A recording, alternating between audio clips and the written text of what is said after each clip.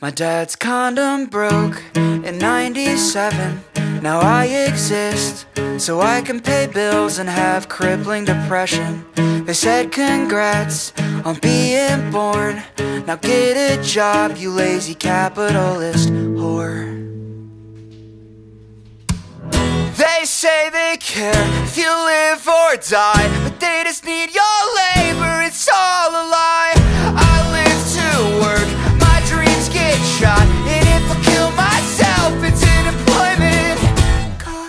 So it's a nine to five to death, or it's a minimum wage gig where you won't get fed and you start to hate the whole human race for not fixing this world before it's too late. They say they care if you live or die, but they just need your.